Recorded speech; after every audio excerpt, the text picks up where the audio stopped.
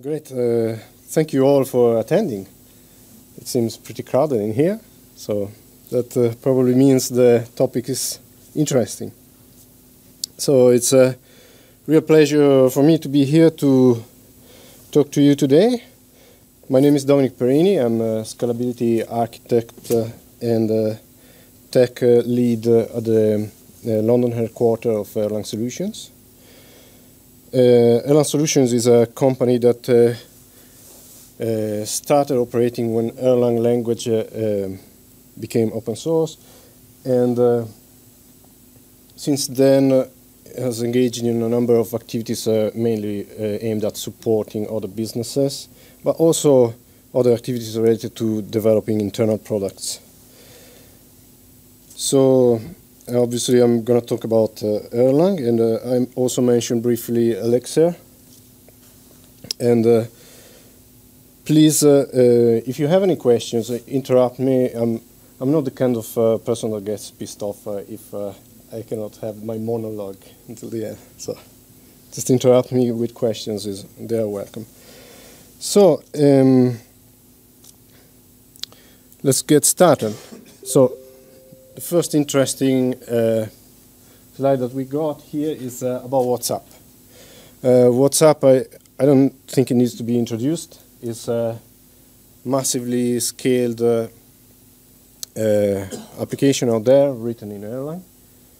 At least the server side of it is written in Erlang. Uh, it reached recently the threshold of 1 billion users. It's got 50 engineers to support the development side, engineering side of it. So it's uh, by itself, it's an impressive uh, sort of achievement.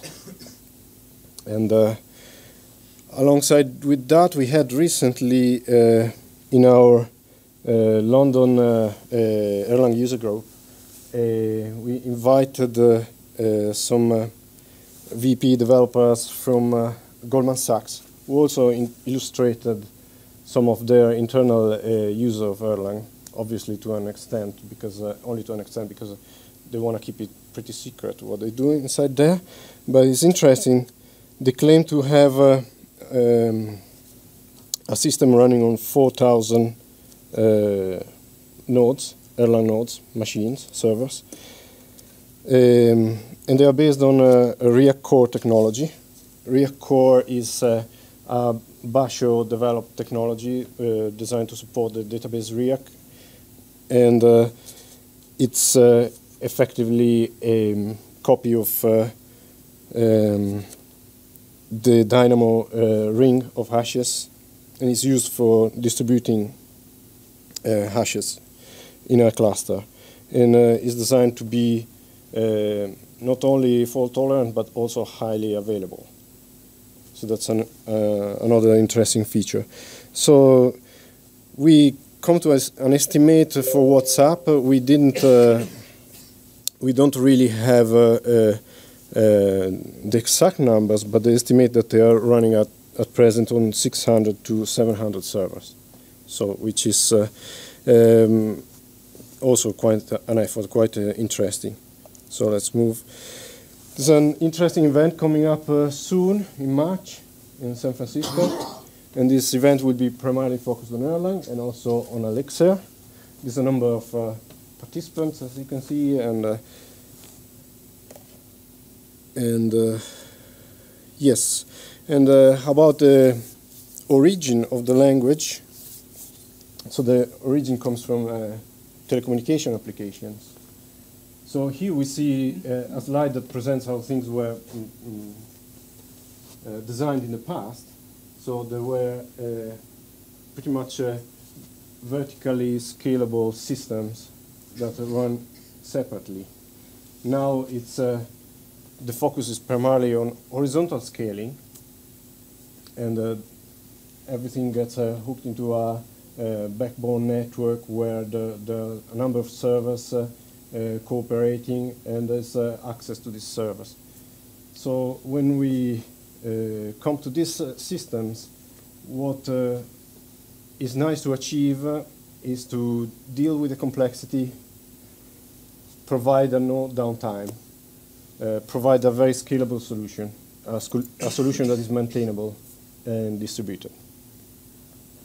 This uh, often meets a, a very restricting uh, constraint, which is uh, the time to market. So it's uh, easy to achieve all that, but uh, there's also uh, the requirement to push it out in production pretty quickly. So that's when Erlang uh, proved to be a good tool.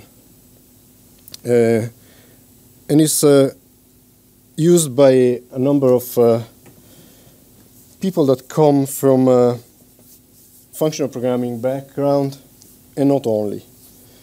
Uh, some uh, uh, some people use a RabbitMQ without perhaps realizing that there's Erlang on the back of it. So um, it's a very nice tool in terms of interfacing with other languages, and it is the most uh, um, yeah distributed. I mean, the most uh, used uh, tool based on Erlang out there. Um, yes, the, this shows. Um, uh, where it comes from in terms of uh, languages that uh, influence the design of Erlang. so there are languages like Smalltalk, Ada, or functional languages like Miranda or ML. Obviously, from Miranda, there's also an evolution that led to Haskell. Or, and it's also influenced by uh, logical languages like Prolog.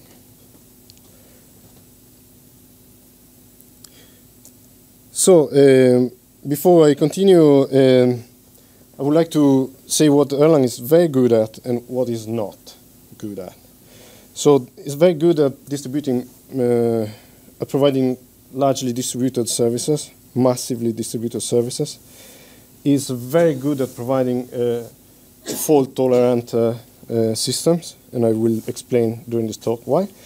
Um, what is not good is uh, in achieving uh, number crunching uh, performance. So uh, it is uh, pretty fast, but not as fast, of course, uh, as C++ for specific applications that are CPU intensive. And another thing is not particularly good at is designing GUIs. So there are better languages out there if you want to do that. And the interesting feature is uh, the first one is uh, that is a declarative language. So it is uh, it leads to very concise and readable programs. And here's an example, a pretty standard example. So here we got a definition of a problem that we want to achieve, in this case a factorial. And here we got implementation that uh, is very close to the definition. And this is something that uh, I am very keen on keeping when I develop systems, when I design systems. So I would like uh, that the code expresses uh, very much the definition of the problem. So that also uh, links to my kind of laziness in documenting the code.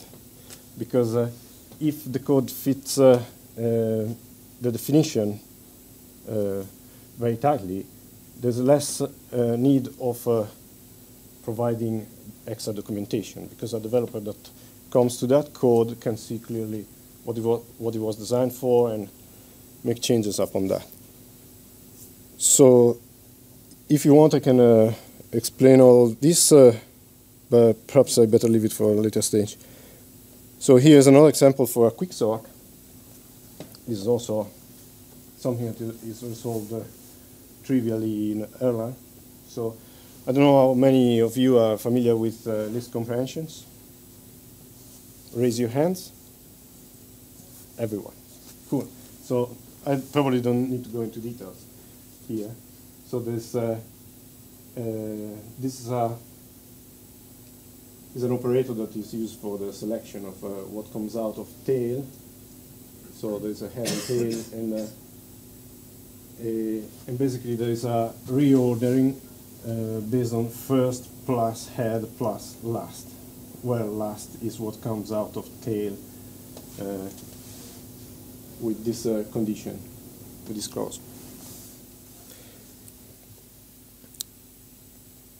So another interesting uh, uh, feature is the binary patterns.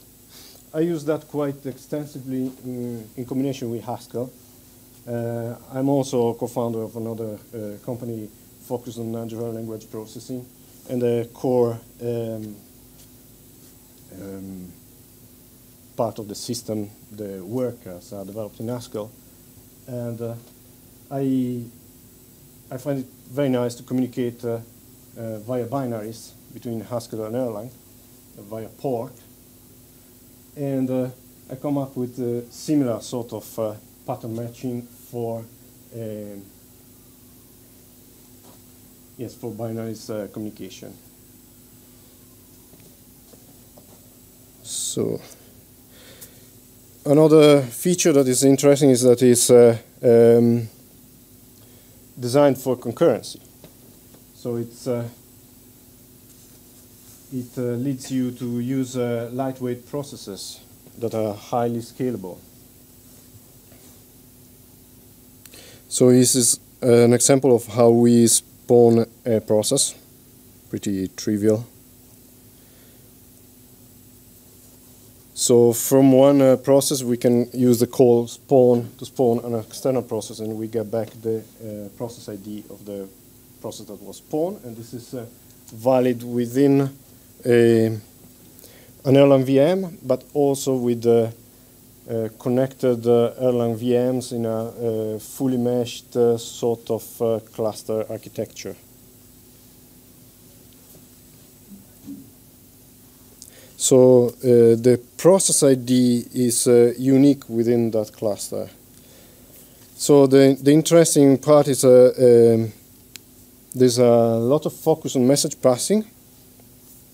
So there's not externally shared state that needs to be locked. Um, and this is where you pass uh, data via that operator. And a receive will receive that data from the other side. It's robust. And I will explain now what that means. It's pretty much what led to the design of OTP, this sort of feature. So if we think about processes, there could be a number of processes and they can um, spawn with the spawn link uh, option, which uh, also establishes a link between the processes. What does that mean? It means that uh, when a process uh, terminates, an exit uh, signal is uh, propagated to the rest of the connected processes. So in this way. And terminate, termination is propagated. So this uh, goes uh, pretty much with the philosophy of letting it crash, which is obviously not always desirable, but uh, I mean it's uh, it leads you to the development of code that is less defensive. So when you are capable of restoring a processes, it doesn't really matter that much if it crashes once in a while, provided that you are capable of restoring the uh, initial state or, or a valid state that lets you carry on with your computation. So, yeah, go ahead. About, uh, exit a process or crashing process? Exiting. In fact, uh, this is an example of uh, trapping an exit. Before, all the processes were crashing. So in this case, this uh, process highlighted with the red is uh, capable of trapping an exit process. And in this case, the exit is trapped, uh, and an action can be tri triggered upon that. So, which leads to the design pattern of uh, supervision tree. So supervisors are processes that uh, don't perform much computation, are just in charge of uh, restarting processes, worker processes that are connected to it, or supervisors that are connected to it. So the idea is to come up with a tree that gracefully retreats when, uh, when it faces an unexpected scenario and regenerates itself. So another interesting feature is a, a distributed uh, Erlang. Oh, what happened there? That was not what I. Wow. I think there's some issue with the. Uh, luckily, here we got to a better state. Okay, and um, distribution, uh, as I mentioned it briefly before, is uh, a feature that not only allows you to send messages within the same uh, Erlang runtime system, but uh, also across runtime systems via the network. So there's uh, a bit of concern in terms of scalability of a system designed that way, because a fully meshed architecture can only scale up to a certain extent. So for that, I suggest uh, a, a, good book that uh, was released uh, recently, and I will give you information later, written by Francesco Cesarini, and is addressing precisely these issues, learning from the experience of WhatsApp, and and also some um, some companies that run into this problem and resolved it. Uh, that said, there's uh, the desire to make it easy for everyone to come up with the scalability of WhatsApp. And uh, also this uh, leads to another question. Who needs it, such a high level of scalability? Well, at present, perhaps not that many, but we ought to think also of, about uh, uh, IoTs, Internet of Things, and it's nice to have uh, processors handling the communication with lots of connected devices. So this is going to become a, um, a problem that many more are going to face in the future. So our goal is to make it easy for people to scale to that level. Another interesting feature, to be frank, I've uh, tried it, but I've not used it in production is uh, the change, the hot swap of code. This is uh, uh, really providing the zero downtime uh, sort of uh, version upgrade of a system.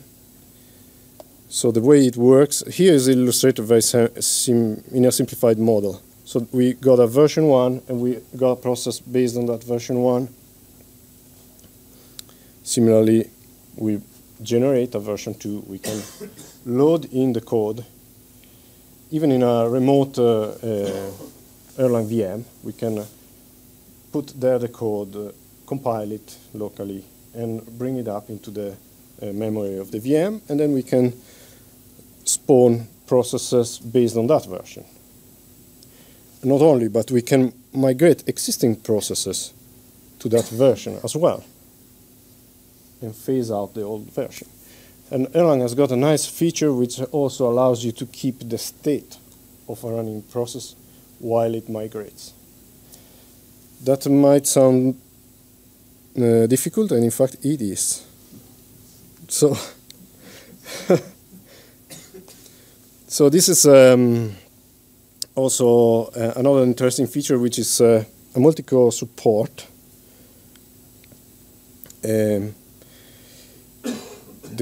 the main characteristic here is not having a, a, shared memory approach that simplifies the concurrency and also the design pattern mm, recommended by OTP and uh, uh, leads to the uh, simplified model of uh, uh, providing multi-core capabilities. So here we got uh, an Erlang VM with schedulers. Every process has got a running queue, and uh, the message is passed over this uh, running queue. One of the things that I faced uh, working with uh, uh, companies that use Erlang is that uh, if they don't use OTP, there are some circumstances in which the message is not read by a queue and sits there in the queue, and it sits there forever, unless you are reading that particular message. So it's a good practice if you want to go that way to drain up the queues in some circumstances, just to prevent from this from happening. OTP saves you from this sort of danger because it implements handlers that uh, automatically drain the queue. So here are the myths. I wrote my Erlang system in four weeks. Wow. That's uh, not really the case. So yeah, if someone claims to have done that, uh, the questions that come up naturally is, is it documented? Are the developers still supporting it? And uh, what uh, visibility does uh, the support have into what is going on inside the system? And there's a number of uh, metrics that could be extracted if things are uh, developed properly, if the system is maintained, and uh, this is something that uh, led us to the development of one of our internal products called Wombat OAM. It's uh, primarily focused on reading metrics and now is uh, uh, evolving into real-time data analytics of uh, metrics coming in and also with elements of machine learning. So we want to build up on the know-how of how to handle these metrics. And uh, yes, another question about this uh, is how much code was actually written because someone hooks in uh, libraries that don't really they don't really know much about and uh, they come up with a system, but uh, yeah, it doesn't uh, really mean much to achieve this. So upgrades, as I was saying before, during runtime are easy. Ta-da! No. So it is easy in some circumstances for example, for simple patches, adding functionality without changing the state, which doesn't necessarily mean stateless processes. It might mean processes that uh, have a similar structure of the state, so that the state can be easily migrated from one process to another. It's like uh, having an API for a state. Um, if there are fundamental changes to the uh, state, it, it, becomes more tricky. So it's uh, generally mm, kind of dangerous in a live system to make upgrades that uh, have uh, heavy implications on a, on a state. Okay. So another myth is we have achieved that level of availability. Yeah, right. So this um, was a sentence, uh, yeah, that uh, is a quote uh, from uh, uh, Bert Nilsson, a director of uh, programming in Ericsson. He says, as a matter of fact, the network performance has been so reliable, there is almost a risk that our field engineers do not learn maintenance skills.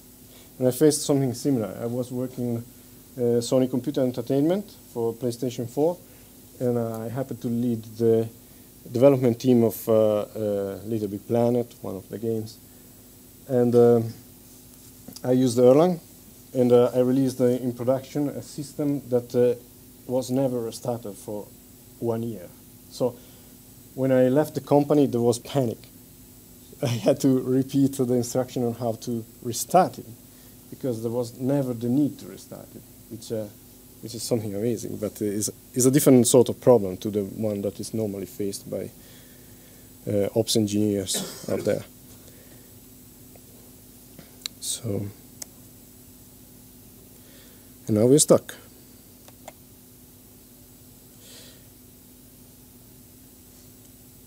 Okay, so this is uh, more like it, finance. And, but what is important to note is that uh, it's simpler to uh, uh reach that level of availability. Yeah, uh, by the way, all the things that I'm saying are doable with other languages, with other technologies. It's just a matter of how easy it is. Our goal is to make it easy. And uh, definitely there is a fraction of the effort involved into coding Erlang. Uh, upgrades, like I said before, are kind of risky. And uh, also a system can obviously be exposed to other risk, ex external risks. In the context of a, a, cloud provider, there could be an instance uh, going to retirement or something like that. And hardware faults. So, yeah, it's, uh, it's happening. There's a number of uh, companies that use. Uh, I mentioned before Riak. I mentioned also RabbitMQ. MongooseIM is another one of our internal products. It's a scalable XMPP instant messaging server based on ejabberd. It, we haven't yet faced the challenge to scale it up to the level of WhatsApp, but we know how to do it. In fact, we also supported WhatsApp at an early stage, giving them consultancy about uh, the uh, initial coding infrastructure. Um, and primarily, I think it was related to um, Mnesia, which is an in a database that uh, Erlang has as part of uh, the Erlang distribution. Uh, Riak is, is very interesting, especially Riak Core, which I mentioned before. Um, I'm currently working for a product that is called Megaload. It's a load testing uh, framework that uh, uh, is supposed to ma uh, scale massively. Uh, supposed to means that I have not yet achieved that, but I'm working on it. And the idea is to have a cluster based on Riak Core to provide a feature for time series storage, and that is in that storing metrics that are retrieved from the running load test for uh, web UIs to browse it afterwards for sharing in a collaborative fashion this data at a later stage. Uh, what's the difference between Riak and? Right. It's a, uh, it's a different technology. CouchDB, uh, I'm not uh, particularly uh, familiar with it, but it's a do document database as opposed to. That's right. That's right. There's three main families, perhaps four. Uh, there's a document-based family of databases. There's a column type of databases out there, uh, such as Cassandra or Bigtable. And there's a family of uh, key value stores, such as Riak. Uh, I think Dynamo is also implementing that. DynamoDB on uh, Amazon. And, and also Redis that implements it primarily in memory Okay, uh, who is using it? Lots of companies out there. And lots of companies that we are not uh, aware of. For example, it's uh, very uncommon that uh, um, a banking um, company like Goldman Sachs comes up and talks about their internal use of uh, these tools. So some of uh, some of these companies allowed us to disclose the information that they are using Erlang. Some others didn't. So there's a number of more companies that are using it and they don't want to show it. So for more information, there are a number of books. This is the one that I mentioned before. It's uh, quite recent. And it's got a focus on uh, how to scale it to a large uh, amount of uh, boxes in a cluster. So there's also a number of other books out there, but uh, what I what I really suggest if, uh, is that if you are not familiar with the language, the best way to get uh, on with it is uh, to get some training, and we provide that. I learned uh, that lesson myself, uh, working in Sony, and it took me quite a while to mm, dig into code. I threw away twice my code before learning how to do it, before releasing it into production. And I think uh, a lot of this uh, effort could have been spared to me if I went into something I train. So these are a number of addresses that you can reach out for more information about the language. And uh, yeah, that's about it. If you have any questions, I will be more than happy to answer. Yeah. So, sorry. Does it actually work? Oh, okay, wonderful, good. And then I'll just talk loudly, seeing as we're in a small cinema. Um, yeah, I was just you were talking about hot code reloading. Yes. Uh, for changing the, like, I guess releasing a new version. But what I was thinking was to people use hot code reloading as a, a way of fixing bugs in production systems? Um, that's in an interesting question. Yes, I I came to use it when I was working in Sony, simply because it's an easy way to inject code, test it. But I was only using it uh, under test, not in production, and I wouldn't recommend it using it in production. But yes, uh, it could be. Okay, I just didn't know if it was a common thing that people did. Yes, yes, it's very useful to use it that way. Mhm. Thank you. And there are two ways actually. One is to uh, push the code remotely. And in fact, with this uh, MegaLoad tool that I discussed briefly before, uh, we, we provide the possibility of uh, defining your load test scripts in uh, uh, eScript, which is a favored uh, Erlang language that compiles against Beam, and also in Elixir. And by doing that, we push the code remotely and we compile it remotely and run it remotely. An alternative is to compile it locally, and if the version is the same, you can propagate it, propagate just the beams, load in the beams, and that's an alternative way of doing it. There are two ways. Any other question? Secure uh, Secure the, the hot uh, swapping of code, or the VM? the VM itself? Yeah. It's not. Good point. No, it's um, it's something that we have uh, spent some effort on uh, as part of um, our um, engagement with uh, uh, one of our customer, Infoblox in particular. Uh, I can talk about this because it's no secret, and this is going to be part of uh, new releases of Erlang, uh, and is the ability to communicate over TLS channels. So that gives an extra degree of uh, security that is kind of obvious, but the security is a very wide uh, topic to consider. So there's security of that level, communication level security. There's uh, security about having signed code to be loaded into the VM. And there's also security that goes beyond that. We, and in this case, we are talking about operational security as well as information technology provider security.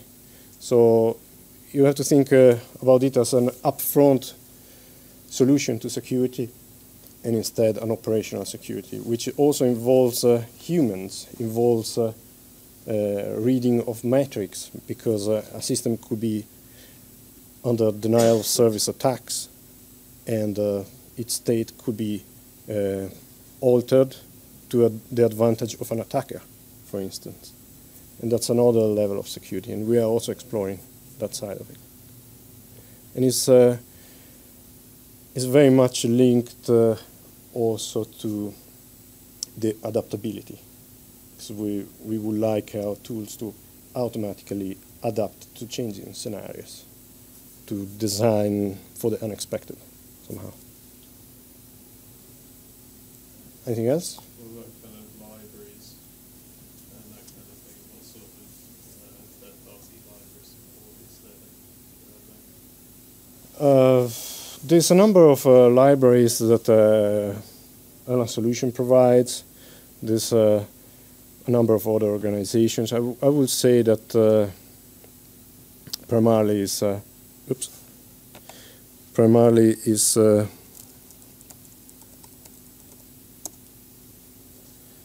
okay. Um, Solutions and Basho that release a lot of uh, useful libraries for the Erlang community.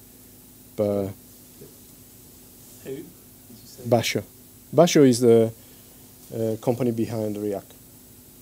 So, for example, if you think about Rebar, Rebar is a tool that they originally developed. And now, presumably, it's independent. I'm not sure about it.